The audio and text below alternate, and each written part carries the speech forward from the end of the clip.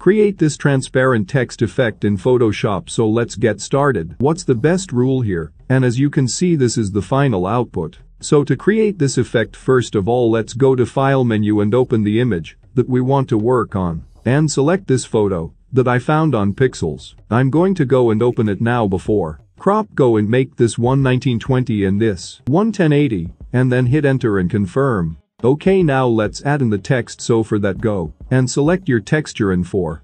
I'm going to go and start typing let's type text and after that confirm it and now as you can see the font is really tiny so to make it big simply press Ctrl T and hold your shift key and drag it from one.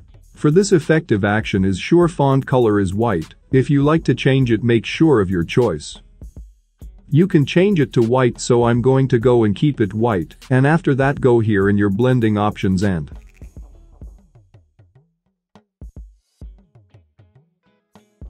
change it to soft light after that whole layer control key. And command if you are using Apple product, so hold the control key.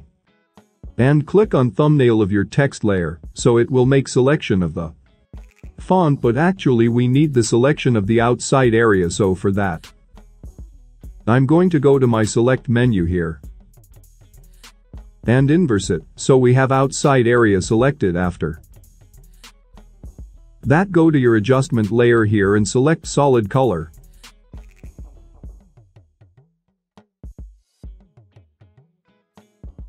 And after that in the opacity, go and make it 50%, and just like that the effect is ready.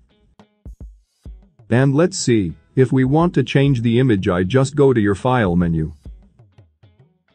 And select place and here you can apply to different image.